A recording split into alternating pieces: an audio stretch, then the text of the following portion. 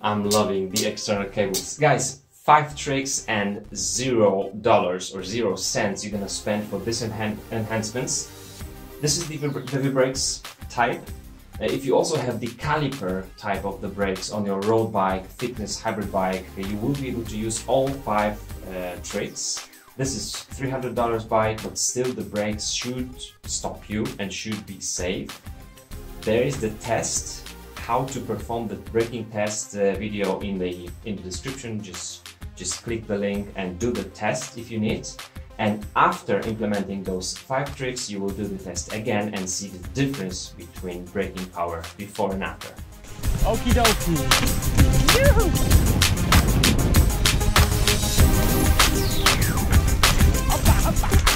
The trick number one, check out your cable routing and the length of your housings.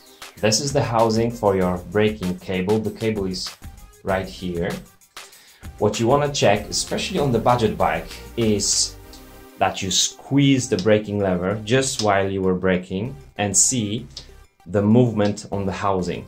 If the housing moves a lot, that means you don't have the optimum uh, length of the housing or the cable routing uh, is not uh, well done. Meaning, this cable, as you can see, has nice uh, curve here. It might be a little, a little bit uh, shorter in my opinion, but it's quite okay. As you can see, while, while I'm pushing the brake, it doesn't move that much, but it would, it would move a little bit less if it was maybe one centimeter shorter, but also sometimes this housing would be routed like um, under this housing and then it would bend too much and you would even feel uh, more friction. So you want to have nice, nice curve for your housing. The housing shouldn't be too long and this is still okay, but it shouldn't move that much. On some bikes, especially budget bikes, while braking, it would move like this, meaning you're, you're losing a lot of braking uh, power. And then you just remove the cable, shorten the, uh, the housing, and then you're done. Then you feel more braking power. Let's see the rear one. Okay, let's brake now. This um, part of the housing will move along with one of the arms of your V-brakes arms, so that's pretty normal. But I would still want to have this one a little bit shorter because we have this this ending for the for the housing. It might be shorter. It doesn't mean that you want to have um, very long curves on your brakes on your housing. It's better to have it just in one place like this because then the cable will, will only touch the housing right here.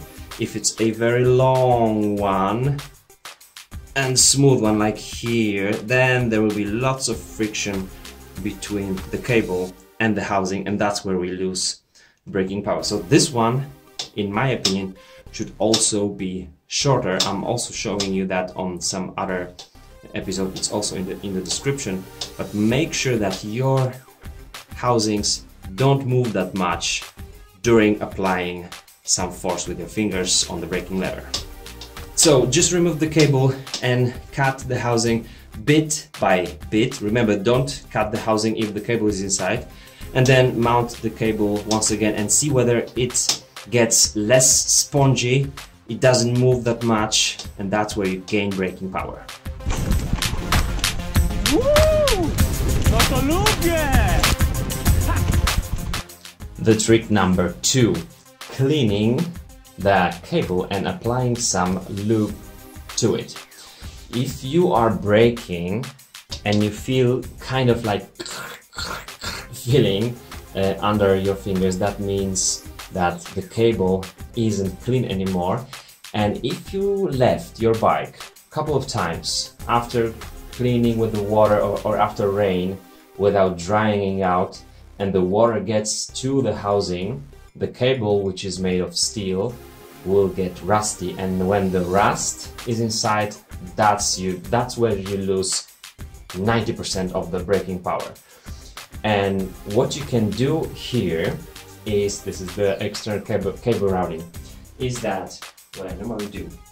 I will first clean the cable that is on the outer side, just not to take in any dirt and, and mud in, into the, the housing. Then you can open your brake like this.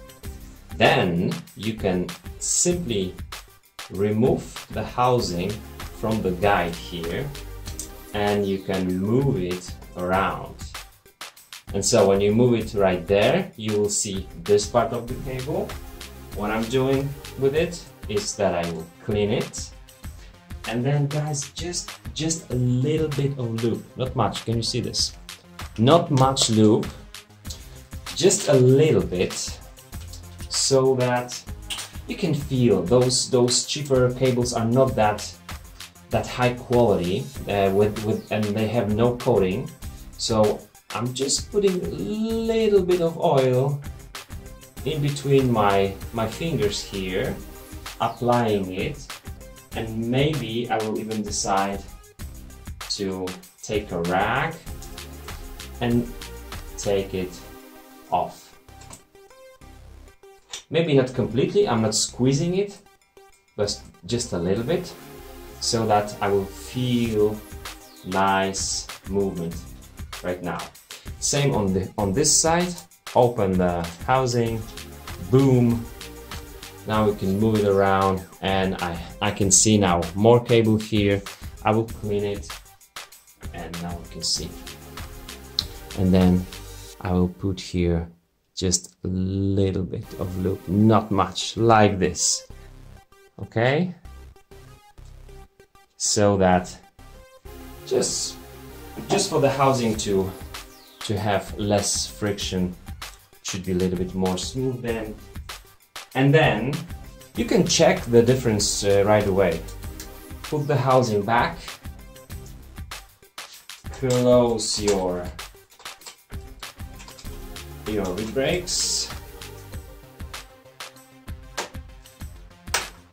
boom.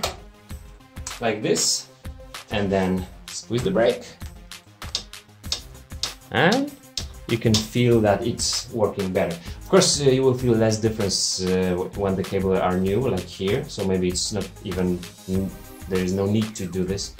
But if there is some dirt inside, they are, they are just older and dry. This is a very good idea to do it. Yeah!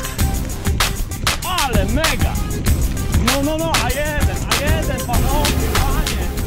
The trick number three. We have clean um, housings clean cables. We have the right length of the housing which is good. And now the pivot might be the next place or area where we lose braking power. So once again I'm going to open the brakes like this on both sides. And then you can simply maybe you even hear there is a friction there. And this bike is brand new, my friends. So let's, oh baby, ooh, this is hard. Let's remove this brake braking arm and clean it and grease it. It seems like this is some cheap stuff and it's made so that it wouldn't be removable and it's dry there on the pivot. So what I'm gonna do I could use just the the oil I wanted to say oil oil chain oil some chain lube or maybe W40 this is Brunox. This is for for some parts on the suspension but I I can also use it a little bit just there inside in order to minimize the friction. Just a little bit. Uh, don't apply it on the thread here. This this thread should even have the Loctite on it so the thread lock. But here yes just a little bit like that. And then we'll see how it works In this case, guys, uh, just additional advice. If you cannot disassemble the brakes, we could simply use the spray here and just put there a little bit more oil. After that, take a rag, clean it well from the outer side because you never want to have oil on the outer side, but I can feel much difference now.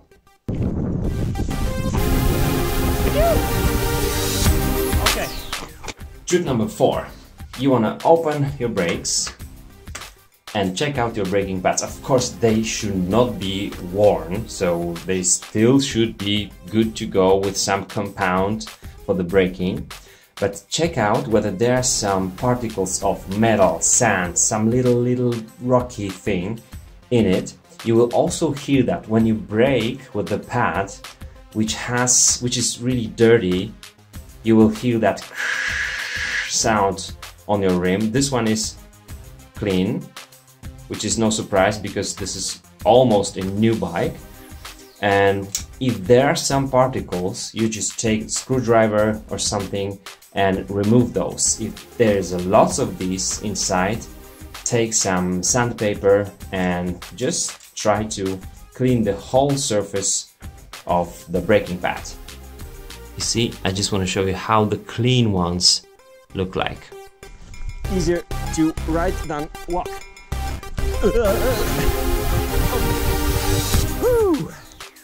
And then the fifth trick, of course, you want to adjust the brakes. Like here you can see the right arm is moving, the left arm is moving, the right arm isn't moving. So I need to adjust that. Uh, but I want to show you some trick because adjustment is on another episode's description once more. I want to show you one little trick which will show you whether the braking pads are positioned well. Use this barrel adjuster in order to push your braking pads against the rim and then you will see exactly what's happening without guessing.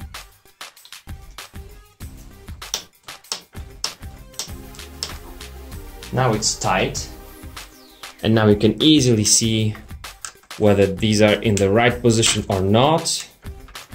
This should be moved a little bit, for example, like this. Okay, you can also see the angle like this. New pads should just touch the rim. More info on the episode I've mentioned, but this is the trick that allows you to do it very, very quickly. Alright, we have clean cables, clean housing, we've got the right length and routing of our housing, so it is the optimal way to route the cables to our brakes. Then we have clean pivots, greased pivots, and then the right position of our uh, braking pads which are clean too. Now we are ready to perform the braking performance test once again and see the difference. If you don't feel much difference or, or, or still your brakes fail the test I'm showing you, that means you may try to replace the pads for some better, more expensive ones. Uh, it can change a little bit, but if they feel spongy, uh, at least replacing the housings and the cables will be needed or maybe even replacing the brakes. You need the safety, you need the braking performance. That's why I'm sharing with you these five tricks. Let me know how it turned out for you and see you in the next episode. Thanks for watching. Let's do this.